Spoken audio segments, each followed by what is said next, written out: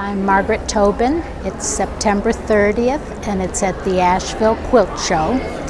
And this quilt was started about a year and a half ago. Um, I did most of the applique while sitting at my 97 year old mother's bedside as she was making her final journey.